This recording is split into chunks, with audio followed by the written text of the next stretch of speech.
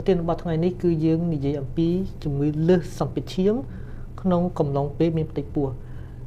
មែនតើនិយមន័យលើសឈាមទូទៅខ្ញុំនិយាយទូទៅក៏ដូចទៅលើអ្នកជំងឺឬមួយស្ត្រីដែលមានផ្ទៃពោះគឺនិយមន័យដូចគ្នា មានន័យថាការលើសសម្ពាធឈាមនោះគឺមានន័យសម្ពាធឈាមខាងលើលើសពី140មីលីម៉ែត្របារ៉តឬមួយក៏ខាងក្រោមលើសពី90មីលីម៉ែត្របារ៉ត តួលេខគឺដូចគ្នាទៅលើអ្នកជំងឺទូទៅមិនថាពោពោះមិនថាអត់ពោពោះឬមួយបុរសឬមួយស្ត្រីគឺតួលេខដូចគ្នា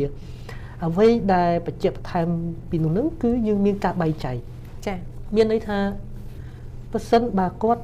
មានការលើសសម្ពាធឈាមតួលេខដូចតួលេខដែលខ្ញុំបាននិយាយពីមុននេះហ្នឹងមុន20សប្តាហ៍នៃការមានគ័រ មានន័យថាជាទូទៅស្ត្រីដែលគាត់ពពោះគាត់តែងតែមកតាមដានជើពពោះជាមួយនឹងគូពេទ្យខាងសម្ភពសម្ភពអញ្ចឹងគឺជាទូទៅតែងតែវាស់ឈាមអញ្ចឹងបើយើងរកឃើញថាគាត់លើសឈាមលើសសម្ពាធឈាមមុន20សប្តាហ៍គឺយើងចែកក្នុងក្រុមមួយផ្សេងមានន័យថាគាត់លើសសម្ពាធឈាមរ៉ាំរ៉ៃឬមួយលើសសម្ពាធឈាមគាត់មានជំងឺលើសសម្ពាធឈាមមួយទៅហើយ ប៉ុន្តែក្នុងកំឡុងពេលមានផ្ទៃពោះហើយយល់ខ្ញុំនិយាយទេចាមានថាពពោះ20សប្តាហ៍ហើយមុនមុន20សប្តាហ៍ហ្នឹងទី1ចាទី2មានន័យថាមុនគាត់ពោះពោះហ្នឹងប៉ុន្តែគាត់មកតាមដានសម្ពាធឈាមគាត់ជាទូទៅធម្មតាមានសម្ពាធឈាមគាត់អត់លឹះទេប៉ុន្តែស្រាប់តែចូលសប្តាហ៍ទី21 22ស្រាប់វាស់ទៅឃើញលើសសម្ពាធឈាមអញ្ចឹងគាត់ចូលក្នុងក្រុមប្រភេទទី2ដែលយើងកាត់ទុកថា លើសសម្ពាធឈាមដូចគ្នាក្នុងកំឡុងពេល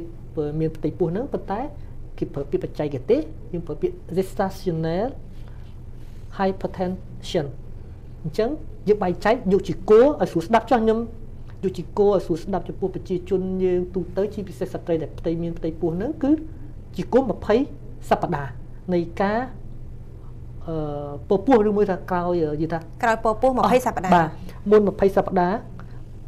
មួយក្រុមក្រោយ20សប្តាហ៍មួយក្រុមតែពីនឹងចាស់តាមពិតទៅយើងមានផ្សេងពីនឹងផ្សេងពីនឹងចាំខ្ញុំនិយាយភ្ជាប់ជាមួយនឹងរូបសញ្ញានោះចោះប៉ុន្តែដោយសារប្រជាជនយើងខ្ញុំចង់ឲ្យយល់គឺយើងយក20សប្តាហ៍ជាគោលមុន20សប្តាហ៍ក៏យើងហៅថាលើសសម្ពាធឈាមក្រោយ20សប្តាហ៍ក៏លើសសម្ពាធឈាមក្នុងកំឡុងពេលមានផ្ទៃពោះប៉ុន្តែអ្វីដែលសំខាន់ គឺការវិវត្តរបស់ជំងឺលើសសម្ពាធឈាមនោះបាទរាល់ស្ត្រីមានផ្ទៃពោះទាំងអស់សុទ្ធតែប្រឈមកើតនៅជំងឺលើសសម្ពាធឈាមឬក៏យ៉ាងណាដែរលោកវិជ្ជបណ្ឌិតអត់ទេមិនមែនមានន័យថាឲ្យតែស្ត្រីមានផ្ទៃពោះគាត់ដឹងតែលើសឈាមទាំងអស់ក្នុងកំឡុងពេលពោះពោះនោះអត់ទេ គឺអ្វីដែលតាមតួលេខដែលយើងឃើញសុកគេមកយើងឃើញថាមានប្រហែលជា10%នៃអ្នកដែលមានផ្ទៃពោះនឹងអាចឲ្យមានការលើសសម្ពាធឈាម ចាក្នុងកំឡុងពេលមានផ្ទៃពោះ 10%នៃអ្នកមានផ្ទៃពោះដែលការជំងឺលើសសម្ពាធឈាមនេះមូលហេតុអ្វីខ្លះដែរចាដែលបណ្ដាលធ្វើឲ្យបែបនេះចំពោះមូលហេតុដែលធ្វើឲ្យស្ត្រីងាយមានការលើសសម្ពាធឈាមក្នុងកំឡុងពេលមានផ្ទៃពោះនេះជាទូទៅដែលយើងឃើញញឹកញាប់ហើយដែលជាកត្តាគ្រោះថ្នាក់ធ្ងន់កត្តាងាយនឹងប្រឈមជាងគេនោះនៅក្នុងនោះគឺអ្នកដែលមានប្រវត្តិទឹកនោមផ្អែមចា៎អ្នកដែលមានបញ្ហាតម្រង់នោម ខ្ញុំនិយាយសួរស្ដាប់ចេះចោះតម្រង់នោមអ្នកដែលមានប្រវត្តិជំងឺប្រព័ន្ធប្រឆាំងរាងកាយហើយអ្នកទាំងអស់នោះហើយដែលងាយនឹងមានជំងឺលើសសម្ពាធឈាម ក្នុងកំឡុងពេលមានផ្ទៃពោះកត្តាផ្សេងទៀតប៉ុន្តែវាមិនអឺគាត់ថាធ្ងន់ធ្ងរដែលងាយនឹងឲ្យទេគាត់ថាអាចប៉ុន្តែគាត់ថាភាគរយហ្នឹងវាតិចដូចជាគាត់មានផ្ទៃពោះ នៅក្មេងមានថាមុនអាយុ20ឆ្នាំឬមួយក៏គាត់មានផ្ទៃពោះហ្នឹងអាយុច្រើនមានថាក្រោយអាយុ40ឆ្នាំឬមួយទៀតក៏គាត់ពោពោះប៉ុន្តែកូនហ្នឹងកូនភ្លោះឬមួយកូន3កូនភ្លោះ2ឬមួយកូនភ្លោះ3ក៏ងាយប្រឈមមុខនឹងជំងឺហ្នឹងឬមួយគាត់ធ្លាប់កូនមុនមុនគាត់មានជំងឺលើសសម្ពាធឈាមក្នុងកំឡុងពេលមានផ្ទៃពោះក៏គាត់អាចប្រឈមមុខនឹង ជំងឺលើសពីជំងឺផ្ទៃពោះទៅកូនក្រោយទៀតដែរបាទចាអញ្ចឹងមានកត្តាសំខាន់សំខាន់ជាច្រើនតើតាមនឹងអាចធ្វើឲ្យស្ត្រីមានផ្ទៃពោះដែលមានជំងឺលើសសម្ពាធឈាមនោះមានអាការៈបែបណាដែរដែលធ្វើឲ្យអ្នកជំងឺអាចនឹងចាប់អារម្មណ៍ថាខ្លួននឹងកំពុងតែមានបញ្ហាប្រឈមទៅលើជំងឺនេះចំពោះរូបសញ្ញាដែលយើងជាស្ត្រីកកត់ដែលមានផ្ទៃពោះគួរតែអត់សម្គាល់ហើយនឹងចាប់អារម្មណ៍នោះគាត់អាចនឹងមានអារម្មណ៍ថាស្វាងភ្នែកចាគាត់អាចក្អួតចង្អោ បើក្អួតចង្អោនេះខុសពីក្អួតចង្អោចាញ់មិនមែនទេក្អួតចង្អោចាញ់គឺច្រើនតែត្រីមាសដំបូងឯទេក្អួតចង្អោនេះគឺអាចចាប់ដើមពីត្រីមាសសំទុះថាត្រីមាសទី2ឬមួយចូលត្រីមាសទី3នៅតែក្អួតចង្អោអាចគាត់អាចហើមហើយដែលហើមហើមឬមួយស្ពុលដែលយើងត្រូវកត់សម្គាល់គឺអាចមុខអាចដៃអាចជើងចាអាចឈឺក្រោមឆ្អឹងជំនី តែក្នុងនោះដែរពិសេសគឺក្រោមឆ្អឹងជំនីខាងស្ដាំបាទចាជំនាញអាការៈឈឺក្បាលឈឺក្បាលឈឺក្បាលក៏មាននៅក្នុងនោះដែរហើយឈឺក្បាលហ្នឹងគឺមានន័យថាយើងប្រើថ្នាំបបាត់ការឈឺចាប់ធម្មតាគឺมันมันជាមានប្រសិទ្ធភាពប៉ុន្មានទេក៏យើងទៅតែកត់សម្គាល់ដែរបាទអញ្ចឹងនេះជាអាការៈដំបូងងាយងាយដែលស្ត្រីដែលមានផ្ទៃពោះអាចចាប់អារម្មណ៍បានចុះបើសិនជានៅក្នុងករណីថាគាត់មានការសង្ស័យថាគាត់មានជំងឺលើសសម្ពាធឈាមហើយនៅពេលដែលជួបជាមួយនឹងគ្រូពេទ្យជំនាញ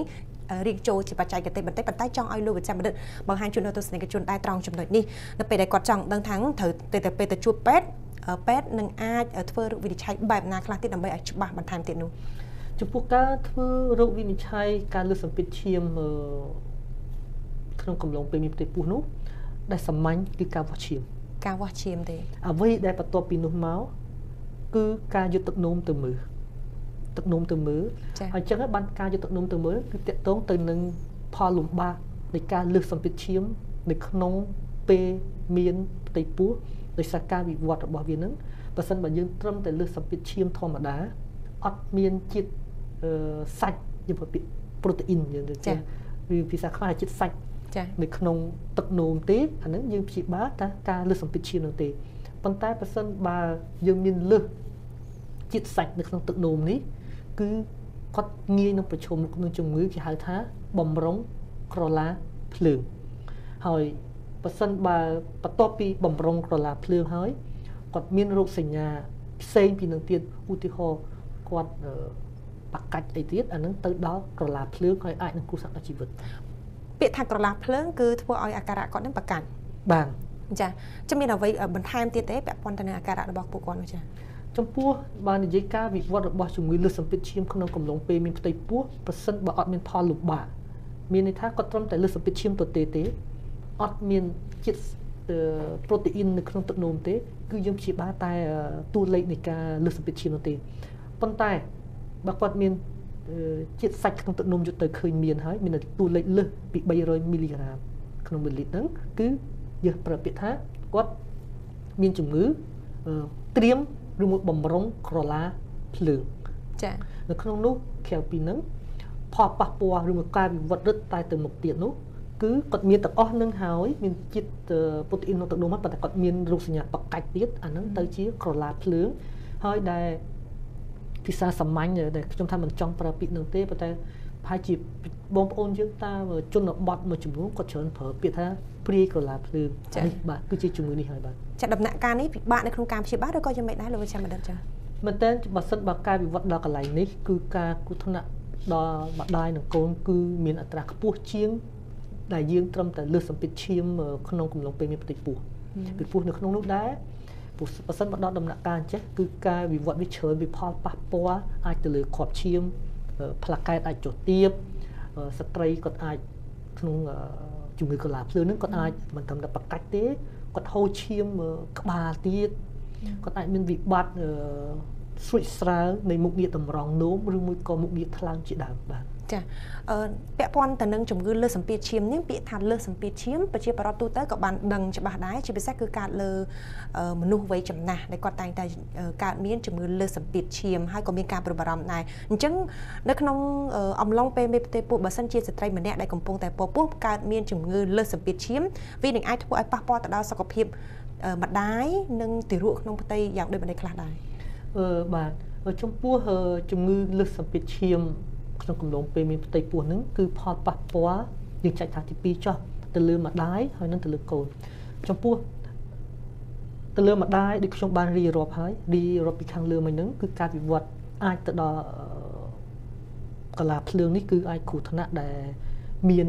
ហហូរឈាមក្បាលគាត់អាចហូរឈាមនៅក្នុងខួរក្បាលគាត់អាចប្រកាច់គាត់អាចមានវិបត្តិស្រួចស្រាវដូចខ្ញុំនិយាយហើយថ្លើម ឬមួយក៏មុខងារតម្រង់នោមហើយអ្វីដែលចុងក្រោយនោះគឺការស្លាប់តែម្ដងហើយនៅក្នុងនោះគឺរហូតដល់10ទៅ15%ដែលធ្វើឲ្យម្ដាយស្លាប់15%ម្ដាយស្លាប់10ទៅ15%ចា៎ចំពោះទៅលើកូន គឺមានន័យថាកូនអាចកើតមិនគ្រប់ខែចា៎ហើយអាចទៅដល់បើសិនបើកូនកើតបានហើយរស់រានមានជីវិតគឺកូននឹងការវិវត្តរបស់កូនគឺអាចយឺតយ៉ាវជាងក្មេងធម្មតា ការវិវត្តទាំងផ្លូវកាយនិងផ្លូវខួរក្បាលឬក៏យ៉ាងម៉េចដែរទៅការរាងកាយរបស់គាត់គឺការបាទមានថាគឺយឺតយ៉ាវអាចជាងក្មេងធម្មតាអាចមានវិបត្តិផ្លូវដង្ហើមពេលកើតមកហើយក្នុងនោះដែរក៏កូនអាចស្លាប់ដែរបាទអញ្ចឹងមានផលប៉ះពាល់ច្រើនបាទដល់កូនដែរអញ្ចឹងមានន័យថានៅក្នុងអំឡុងពេលស្ត្រីមានកំពុងតែពោពុះហើយកើតមានជំងឺលើសសម្ពាធឈាមវាអាចប៉ះពាល់ដល់ដំណើរការវិវត្តនៃសុខភាពកូននៅក្នុងផ្ទៃដែរ ចាមានមានអ្វីបន្ថែមទៀតទេនៃផលប៉ះពាល់នេះហើយត្រូវការព្យាបាលបែបណាដែរបើតាមលោកប្រចាំដិតបានមានប្រសាសន៍បែបនេះត្រូវការព្យាបាលឌីលេបថ្នាំទៀតត្រង់ចំណុចនេះនាងខ្ញុំក៏ចាប់អារម្មណ៍ដែរដោយសារតែស្ត្រីដែលកំពុងតែពោពោភាគច្រើនគាត់តែងតែបានជាដំបូន្មានពីក្រុមគ្រូពេទ្យមិនឲ្យប្រើប្រាស់នៅថ្នាំវាអាចនឹងប៉ះពាល់ទៅដល់កូនក្នុងផ្ទៃតើប្រភេទថ្នាំដែលព្យាបាលជំងឺលើសសម្ពាធឈាមចំពោះស្ត្រីដែលកំពុងពពោះនោះវាអាចប៉ះពាល់បន្ថែមទៀតទេចំពោះសុខភាពកូននៅក្នុងផ្ទៃនោះចំពោះ បើសិនបើស្ត្រីដែលផ្ទៃមានផ្ទៃពោះហើយគាត់មានការលើសសម្ពាធឈាមគឺយើងមានថ្នាំប៉ុន្តែចំពោះការព្យាបាលអាចនឹងខុសពីជំងឺទូទៅអ្នកជំងឺធម្មតាឬអ្នកជំងឺទូទៅដែលអត់មានផ្ទៃពោះភាសាក្នុងនោះថ្នាំការបថយសម្ពាធឈាមមួយចំនួនណានោះប្រើទៅអាចផលមានផលប៉ះពាល់ទៅដល់ការវិវត្តរបស់កូនក្នុងផ្ទៃអញ្ចឹងខ្ញុំអត់ឲ្យនិយាយលំអិតច្រើនក្នុងនេះទេខាច់ប្រជាជនយើងគាត់លំបាក យល់អញ្ចឹងនិយាយឲ្យស្រួលស្ដាប់ថាប៉ះសិនបើគាត់លើសឈាមក្នុងកំឡុងពេលមានផ្ទៃពោះសូមឲ្យទៅជួបគ្រូពេទ្យឯកទេសដើម្បីប្រើប្រាស់ថ្នាំលើសសម្ពាធឈាមហើយក្នុងនោះមានថ្នាំចំនួនដែលយើងមិនប្រើមិនបានទេចា៎ក្រៅពីថ្នាំការលើសសម្ពាធឈាមយើងអាចមានថ្នាំដែលបង្ការមានកុំឲ្យការវិវត្តឧទាហរណ៍យើងគិតថាអូគាត់លើសឈាមគាត់លើសឈាមពីមុនគាត់មានទឹកនោមផ្អែមគាត់មាន វិបត្តិខូចតម្រងនៅពីមុនអញ្ចឹងហើយយើងនឹងគាត់លើសឈាមនៅកំឡុងពេលមានផ្ទៃពោះទៀតគេអាចប្រើថ្នាំដើម្បីការពារកុំឲ្យមានការវិវត្តជំងឺលើសពីឈាមនឹងទៅកាន់តែធ្ងន់ធ្ងរទៅជាជំងឺអាបំរុងកលាភ្លើងឬមួយកលាភ្លើងនៅក្នុងនោះយើងអាចមានប្រើពពុះអាស្ពីរីនអីជាដើមខ្ញុំមិននិយាយច្រើនចាស់ដោយសារវាសិតតែចូលវាយើងប្រជាជនយើងអាចនឹងពិបាកយល់បន្តិចបាទមួយចំណុចទៀតដែរចង់លើបញ្ជាក់បណ្ឌិតបញ្ជាក់ជូនដល់ទស្សនិកជនបន្ថែមទៀតដែរពាក់ព័ន្ធទៅនឹង ករណីស្ត្រីដែលកំពុងតែពពោះហើយមានជំងឺលើសម្ពាធឈាមបើតាមបទពិសោធន៍ព្យាបាលរបស់លោកប្រចាំបណ្ឌិតតបទៅលើជំងឺមួយនេះមានមានការពិបាកនៅត្រង់ចំណុចណាដែរទេរវាងអ្នកដែលអត់មានផ្ទៃពោះគាត់មានការជំងឺលើសម្ពាធឈាមហើយចំពោះស្ត្រីដែលកំពុងពពោះគាត់មានការជំងឺលើសម្ពាធឈាមនោះចំពោះការព្យាបាលនៃការបន្ថយសម្ពាធឈាមមែនទែនយើងមិនឃើញជាមានការលំបាកប៉ុន្មានទេដោយសារថ្នាំយើងសុកយើងយើងមានដូចគេដែរចា៎ ប៉ុន្តែអ្វីដែលជាក្តីបារម្ភគឺស្ត្រីដែលមានផ្ទៃពោះហ្នឹងគាត់អត់បានដឹងថាគាត់លើសឈាមក្នុងកំឡុងពេលមានផ្ទៃពោះកាលពេលអញ្ចឹងគាត់ទុកចេះតែទុកទៅគាត់ទៅតាមដានពោះគាត់មែនប៉ុន្តែនិយាយមកវិញមានន័យថាគាត់មិនបានតាមដានសម្ពាធឈាមគាត់អត់បានយកទឹកនោមទៅមើលអញ្ចឹងគាត់ធ្វេសប្រហែលបន្តិចអញ្ចឹងនៅពេលណាមួយវិវត្ត កាន់តែលឿនហើយឈានទៅដល់ដំណាក់កាលរាងធ្ងន់ទៅដល់បំរុងក្រឡាភ្លើងឬមួយបុកក្រឡាភ្លើងក្នុងករណីនេះដែលពិបាកព្រោះព្រោះដូចខ្ញុំនិយាយពីមុនអាចដល់ហូរឈាមក្បាលអាចប្រកាច់ឬមួយគ្រាប់ឈាមផ្លាកែតចុះទៀបអីហ្នឹងហូរឈាមអញ្ចឹងហានិភ័យមានខ្ពស់ណាស់អញ្ចឹងអ្វីដែលសំខាន់នោះហ្នឹងគឺនៅពេលដែលយើងដឹងថាលើសសម្ពាធឈាមក្នុងកំឡុងពេលមានផ្ទៃពោះត្រូវតាមដានឲ្យបានទៀងទាត់ហើយសួរយោបល់គ្រូពេទ្យឯកទេសដើម្បីប្រើប្រាស់ថ្នាំ បាទចាអញ្ចឹងហើយនឹងមានសំទុំមួយតិចកាត់តិចចុះអញ្ចឹងយើងមានវិធានការមួយចំនួនអាចតមប្រាច់អីជាដើមបាទចាអឺមានមានកត្តាអ្វីផ្សេងទៀតដែរទេលោកប្រចាំបណ្ឌិតដូចជាពាក់ព័ន្ធទៅនឹងការព្យាបាលនេះមានន័យថា ស្ត្រីដែលកំពុងតែពពោះត្រូវតែតាមដានសុខភាពរបស់លោករបស់យើងជាពិសេសគឺសម្ពាធឈាមតែម្ដងអញ្ចឹងបើជាក្នុងករណីថាស្ត្រីនោះមិនដឹងថាខ្លួនកំពុងតែកើតមានជំងឺលើសម្ពាធឈាមប៉ុន្តែពពោះនៅក្នុងវ័យកូននៅក្នុងផ្ទៃច្រើនសប្តាហ៍វាអាចប្រឈមនឹងថាឧទាហរណ៍ថានឹងអាចបាត់បង់កូនដែរទេចា៎ ខ្ញុំនិយាយហើយគឺផលលំបាកនៃជំងឺលើសសម្ពាធឈាមក្នុងកំឡុងពេលមានផ្ទៃពោះហ្នឹងគឺអាចគ្រោះថ្នាក់ទាំងម្ដាយទាំងកូនរហូតដល់ចុងក្រោយនោះស្លាប់អាចស្លាប់ម្ដាយមួយក៏ស្លាប់ស្លាប់កូនអញ្ចឹងហើយបានអ្វីដែលយើងត្រូវចាប់អារម្មណ៍នោះគឺរោគសញ្ញាបើសិនបើគាត់មានរោគសញ្ញាគាត់ស្វាងភ្នែកគាត់ចេះតែខួតអត់បាតគាត់ឈឺក្បាលគាត់ឈឺក្រុមឆ្អឹងជំនីហើយត្រូវតែចាំបាច់ទៅពេទ្យប្រាប់ពេទ្យ ឲ្យពេទ្យវាស់ឈាមហើយយកទឹកនោមទៅមើលបើសិនបើយើងឃើញសម្ពាធឈាមលើសឃើញមានជាតិសាច់នៅក្នុងទឹកនោមនឹងលើសដែរអានឹងត្រូវបង្ការត្រូវប្រយ័ត្នប្រយែងតើតើគួរលាបថ្នាំលើឈាមប្រភេទណាហើយត្រូវធ្វើរបៀបម៉េចចាអញ្ចឹងមានន័យថាទទួលការព្យាបាលបានតាមពេលវេលាយើងអាចនឹងរក្សានៅជីវិតទាំងម្ដាយទាំងកូនបានតែក្រោយពីសម្រាលហើយស្ត្រីដែលធ្លាប់មានជំងឺលើសសម្ពាធឈាមអំឡុងពេលពោះពោះនឹងអាចជាសះស្បើយពីជំងឺនេះទេឬក៏នៅតែបន្តមានជំងឺបែបនេះទៀត សំណួរនេះល្អបើសិនបើយើងបកមកកន្លែងដែលចម្លើយនេះគឺខ្ញុំបកទៅអាសំណួរទី1ដែលសួរខ្ញុំខាងដើមវិញខាងដើមចាមានន័យថាខ្ញុំយកយកជាគោ20សប្តាហ៍នៃការអស់រដូវរបស់ស្ត្រីឬមួយយើងប្រើពាក្យថា20សប្តាហ៍នៃការពោពោះនៅក្នុងយើងទៅពេលតែធ្វើអេកូទៅគេបញ្ជាក់យើងថាប្រហែលសប្តាហ៍ប្រហែលសប្តាហ៍ចាអញ្ចឹងចំពោះការលើសសម្ពាធឈាម មុន20សប្តាហ៍ដែលស្ថិតនៅក្នុងក្រមទី1មានមុន20សប្តាហ៍នៃការពោពោះនោះគឺការលើកសម្ពាធឈាមនៅតែមានទោះបីកូនកើតហើយក៏ដោយមានថាយើងកើតកូនកើតកូនឆ្លងទលេរួចចាឆ្លងទលេសម្ពាធឈាមនៅតែលើសដដែលហើយទីមទីការប្រើប្រាស់ថ្នាំយូរអង្វែងផ្ទុយមកវិញចូលប្រភេទក្រុមទី2មានន័យថាក្រោយ20សប្តាហ៍ បានយើងដឹងថាយើងមានលើសសម្ពាធឈាមជាទូទៅអ្នកស្ថិតនៅក្នុងក្រុមទី2នេះ គឺសម្ពាធឈាមអាចមកធម្មតាវិញអាចសប្តាហ៍ទី4ទី6ជាទូទៅប៉ុន្តែអាចអ្នកខ្លះរហូតដល់សប្តាហ៍ទី8ប៉ុន្តែតែសប្តាហ៍ទី6ហ្នឹងគឺសពិតឈាមតែងតែចុះមកធម្មតាហើយយើងអត់ទៀមទាការប្រើប្រាស់ថ្នាំលើសឈាមទៀតទេបាទ អញ្ចឹងមានន័យថាក្រោយពេលសម្រាលត្រូវការពេលវេលាបន្ថែមទៀតហើយបន្តមកគឺអាចនឹងចុះមកដោយឯងឯងដោយឯងចាចំពោះក្រុមប្រភេទទី2អ្នកដែលមានលើសសម្ពាធឈាមក្នុងកំឡុងពេលផ្ទៃពោះនោះគឺក្រោយ20សប្តាហ៍នៃការពោះពោះ បាទចាខ្ញុំមើលឃើញថាចំណុចសំខាន់សំខាន់ជាច្រើនដែលទាមទារឲ្យស្ត្រីដែលកំពុងតែពោពោះត្រូវចាប់អារម្មណ៍អំពីសុខភាពរបស់ខ្លួនយើងតាំងពីចាប់ដើមពោពោះដំបូងនៅក្នុងសប្តាហ៍ដំបូងមកម្លេះហើយវាអាចនឹងមានផលប៉ះពាល់កាន់តែធ្ងន់ធ្ងរបន្ថែមទៀតបើសិនជាស្ត្រីដែលកំពុងតែពោពោះអាចមានជំងឺលើសសម្ពាធឈាមមិនទទួលបានការព្យាបាលបានតាមពេលវេលានោះលោកប្រចាំដិតមានជាសារអ្វីដើម្បីចែករំលែកជូនទៅដល់ប្រជាពលរដ្ឋពាក់ព័ន្ធទៅនឹងបញ្ហាជំងឺនេះទេជាពិសេសសម្រាប់ស្ត្រីដែលកំពុងតែពោពោះនោះចា៎ ចំពោះការជាមតិខ្ញុំចុងក្រោយចំពោះស្ត្រីដែលគាត់ពោពោះអ្វីដែលសំខាន់នៅពេលណាដែលគាត់ទៅតាមដានពោះជាមួយនឹងគ្រូពេទ្យឯកទេសខាងសម្ភពឬមួយថាតាមជនបទថាជាមួយឈ្មោះក៏ដោយអ្វីដែលសំខាន់គឺត្រូវវាស់ឈាមរៀងរាល់ពេលដែលទៅតាមដានពោះកុំភ្លេចវាស់ឈាមខ្លួនឯងហើយនៅពេលណាដែលយើងគិតថាឈាមលឹះហើយសម្ពាធឈាមខ្ពស់ ទៅទឹកមួយទៀតយកទឹកនោមទៅមើលបន្ថែមមួយទៀតដើម្បីយើងកាត់បន្ថយជាបាការពារកុំឲ្យការវិវត្តកាន់តែធ្ងន់ធ្ងរទៅដល់ជំងឺអាដែលខ្ញុំនិយាយថាបំរុងកលាភ្លើងនៅក្នុងនោះអ្វីដែលជារោគសញ្ញាដែលស្ត្រីគួរណាស់តែថាកត់សម្គាល់ឲ្យចាប់អារម្មណ៍ជាងគេ គឺមានន័យថាហើមហើមដៃហើមជើងហើមមុខជាទូទៅការពោពោះអាចហើមតិចតួចប៉ុន្តែក្នុងករណីដែលហើមខ្លាំងហើយការឡើងទម្ងន់លឿនទៅតែចាប់អារម្មណ៍ កុំភ្លេចវាស់ឈាមពេលដែលទៅជួបពេទ្យឬមួយប៉ះសិនបើយើងមានប្រដាប់វាស់ឈាមខ្លួនឯងយើងអាចវាស់ខ្លួនឯងហើយមើលថាមិនស្រួលសូមទៅជួបគ្រូពេទ្យឯកទេសជំនាញបាទចាពាក់ព័ន្ធទៅនឹងរបបអាហារវិញយ៉ាងណាដែរចាចំពោះរបបអាហារគឺយើងអាចពិសេសគឺការតមប្រៃតែម្ដងតែប៉ុណ្្នេះទេបាទតែប៉ុណ្្នឹងទេចាសូមអរគុណលោកវិជ្ជាមណ្ឌិតសម្រាប់ការបកស្រាយនៅប្រធានបទនៅក្នុងថ្ងៃនេះនៅចំណុចសំខាន់សំខាន់ជាច្រើនហើយក៏ជាចំណេះដឹងថ្មីមួយទៀតប្រហែលជាស្ត្រីមួយចំនួនដែល មិន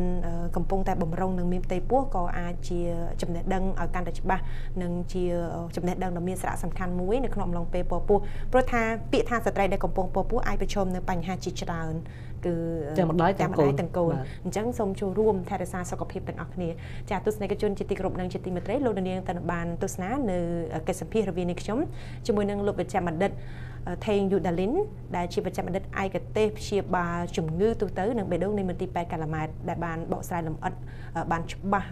ពាក់ព័ន្ធទៅនឹងប្រធានបទនៅក្នុងថ្ងៃនេះគឺជំងឺលើសសម្ពាធឈាមចំពោះស្ត្រីកំពុងមានផ្ទៃពោះសូមអរគុណសម្រាប់ការតាមដានទស្សនារបស់លោកអ្នក